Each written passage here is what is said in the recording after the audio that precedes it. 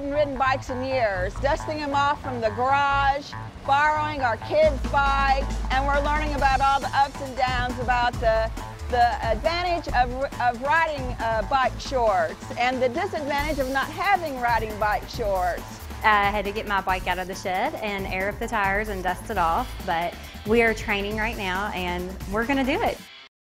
We took the news probably worse than Anne did. She was so strong for us. Heather Smith is talking about friend and co-worker Anne Robinson, a 30-year Norton Healthcare employee who is in the battle of her life.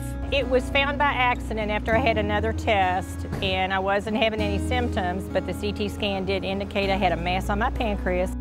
Anne had surgery to remove the cancer and found her role as caregiver reversed. I've taken care of these patients for years. I take care of them every day. And now it's my, you know, sometimes it's your turn.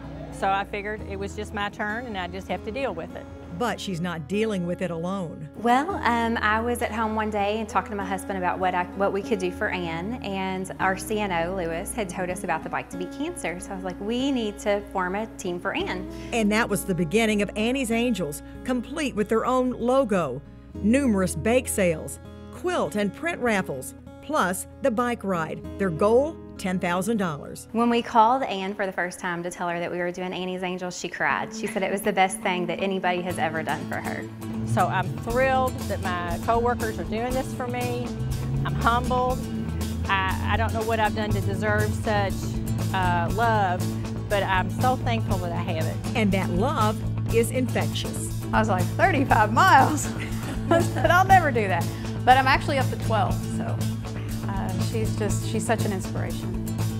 So besides raising money, Annie's Angels are building up their endurance to complete the 35, 65, or 100 mile course. Annie will be cheering for them on behalf of all cancer patients.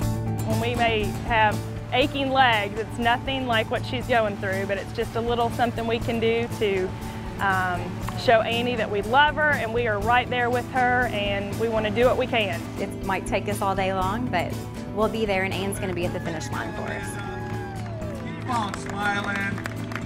Way to go, Shannon. Way to go, Brian.